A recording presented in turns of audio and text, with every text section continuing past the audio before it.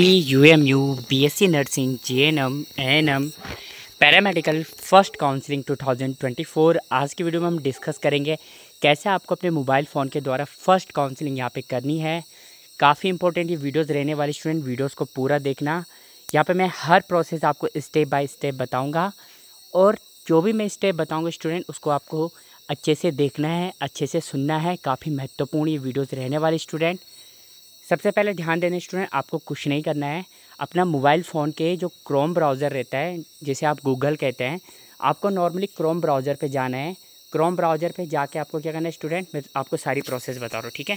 Chrome browser पे Google पे जाना है गूगल पे सर्च करना है H N B U M U search करोगे, जो पहला लिंक है H N B U M U उस पर आपको क्लिक करना है। क्लिक करने के बाद आपको नीचे नीचे स्क्रॉल डाउन करना है। पहला लिंक आपको दिख रहा होगा नर्सिंग ऑब्लिक पैरामेडिकल काउंसलिंग यहाँ पे एक चीज़ ध्यान देना बीएससी नर्सिंग वालों के लिए अलग से काउंसलिंग का पोर्टल खुलेगा। तो आई सेम पोर्टल आपका इसी तरीके से रहेगा काउंसलिंग का, लेकिन डेट अलग से आएगी। इसीलिए कह रहा हूँ, अगर आपने अभी तक भी चैनल को सब्सक्राइब नहीं किया तो चैनल को सब्सक्राइब कर लेना। प्रोसेस सेम रहने वाला है, चाहे वो पैरामेडिकल की बात करें एएनएम की बात करें जीएनएम की बात करें एमएससी नर्सिंग की बात करें पोस्ट बेसिक नर्सिंग की बात करें, पहले वाले लिंक पे आपको क्लिक करना है। क्लिक जब आप करोगे, कुछ इस तरीके का इंटरफेस आएगा। ध्यान देने स्टूडेंट आपको रोल नंबर डालना है रोल नंबर हो डालना है, जो आपका एडमिट कार्ड में मेंशन होगा। रोल नंबर डालना है डेट ऑफ़ बर्थ डालनी। डेट ऑफ़ बर्थ जब आप डाल दोगे लॉगिन पे आपको क्लिक करना है। लॉगिन पे जैसे आप क्लिक करोगे स्टूडेंट आएगा, ठीक है? ओटीपी आएगा ओटीपी आपको डालना है, ध्यान देने स्टूडेंट जो रजिस्टर्ड नंबर है आपका इनकेस आपके मोबाइल नंबर पर ओ नहीं आ रहा है जो फॉर्म में आपने ई मेल डाली है, उस पर भी ओटीपी आ रहा है स्टूडेंट इस चीज़ का आप ध्यान रखना। ओटीपी आपको डालना है, जैसे ओटीपी आप डाल दोगे, उसके बाद आपको सबमिट पर क्लिक करना है, ठीक है? सबमिट पे जैसे आप क्लिक करोगे, उसके बाद कुछ इस तरीके का इंटरफेस आएगा। यहाँ पे आपकी डिटेल शो करेगा, आपकी रैंक शो करेगा, कितनी रैंक आप क्या रखी हैं आपको क्या करना है नीचे नीचे स्क्रॉल डाउन करना है।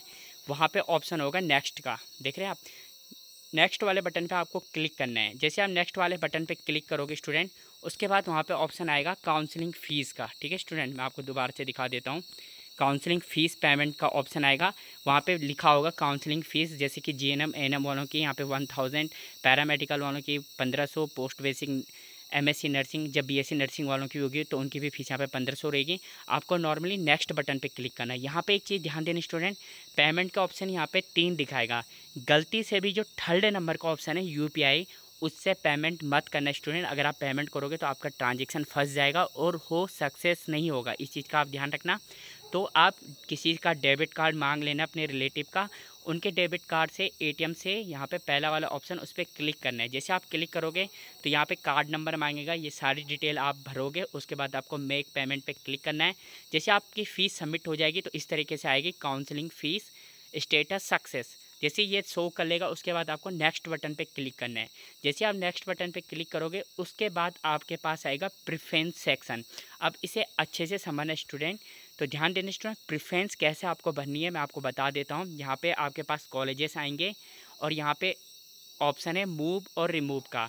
तो ध्यान देने स्टूडेंट जो आपको फ़र्स्ट प्रेफरेंस में जो कॉलेजेस चाहिए फॉर एग्जांपल के लिए इस कैंडिडेट को गवर्नमेंट कॉलेजेस रानी पोखरी का चाहिए।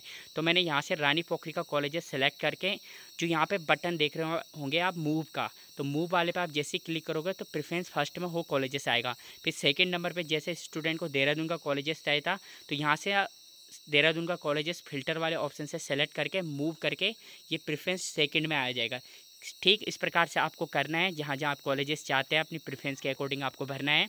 जब आप ये चीज़ें भर दोगे स्टूडेंट उसके बाद आपको यहाँ पे स्क्रॉल डाउन करना है, ठीक है? मूव प्रेफरेंस के बगल में स्क्रॉल डाउन करोगे तो यहाँ पे कुछ इस तरीके से ऑप्शन आएगा। अप डाउन सेव प्रेफरेंस तो आपको नॉर्मली सेव प्रेफरेंस वाले ऑप्शन पे क्लिक करना है। जैसे आप सेव प्रेफरेंस वाले ऑप्शन पे क्लिक करेंगे तो यहाँ पे आपके पास मैसेज आएगा, प्रिफ्रेंस सेव्ड सक्सेसफुली। आपको नॉर्मली ओके पे क्लिक करना है। जब आप ओके पे क्लिक कर दोगे, उसके बाद यहाँ पे नीचे नीचे स्क्रॉल डाउन करना स्टूडेंट। यहाँ पे ऑप्शन है प्रीव्यू और सबमिट का। तो ध्यान देना स्टूडेंट, अच्छे से अपनी प्रेफरेंस भर लेना। एक बार आपने प्रेफरेंस भर दी और सबमिट आपने क्लिक कर दिया तो आपकी प्रेफरेंस चेंज नहीं होगी, इस चीज़ का आप ध्यान रखना। तो नॉर्मली आपको सबमिट वाले बटन पे क्लिक करना है। जैसे आप सबमिट वाले बटन पे क्लिक करोगे, कुछ इस तरीके का मैसेज आएगा, एप्लीकेशन सबमिटेड सक्सेसफुली आपको नॉर्मली ओके पे क्लिक करना है। जब आप ओके पे क्लिक कर लोगे उसके बाद आपने जो जो प्रेफरेंस भरी है, उसका प्रिंट फॉर्म में यहाँ पे आ जाएगा। आपको नॉर्मली प्रिंट वाले ऑप्शन पे क्लिक करना है। और पी फॉर्म में आपका काउंसलिंग का प्रोसेस कंप्लीट हो जाएगा। बाकी ध्यान देने स्टूडेंट ये वीडियो काफ़ी इंपॉर्टेंट रहने वाली है। मैंने आपको सारी चीज़ें बता दी कैसे कैसे करना है। फाइनल प्रिंट निकलेगा, आपको ट्रांजेक्शन डेबिट कार्ड के थ्रू करनी है। और प्रिफ्रेंस में मैंने आपको बता दिया स्टार्टिंग में गवर्नमेंट कॉलेजेस डालना है। अगर आपकी रैंक ज़्यादा है प्राइवेट कॉलेजेस में स्टेट जो सीट रहती है स्टेट कोटा की सीट वहाँ से अगर आप करने के इंटरेस्टेड हो, आपके पेरेंट्स अलाउड करते हैं तो उस कंडीशन में आपको गवर्नमेंट प्रेफरेंस भरने के बाद ही वो कॉलेजेस डालने हैं। अदरवाइज़ अगर आप नहीं चाह रहे प्राइवेट कॉलेजेस में एडमिशन तो गवर्नमेंट प्रेफरेंस आपको डालनी है, अगर आपकी रैंक ज़्यादा, अच्छी है। तो ध्यान देने स्टूडेंट इस वीडियो के लास्ट में उसका भी लिंक मैं आपको प्रोवाइड कर दूँगा कि कितनी रैंक तक गवर्नमेंट कॉलेजेस मिलने के चांसेस है। उससे आपको आइडिया मिल जाएगा कि इतने प्रेफरेंस तक मुझे फ़र्स्ट काउंसलिंग में या सेकंड काउंसलिंग तक गवर्नमेंट कॉलेजेस मिल जाएगा। और एक चीज़ और ध्यान देने स्टूडेंट इनकेस आपको गवर्नमेंट कॉलेजेस नहीं मिलता है तो सेकेंड काउंसिलिंग यहाँ पर होगी। फ़िलहाल के लिए इस वीडियो में इतना ही दोस्तों थैंक यू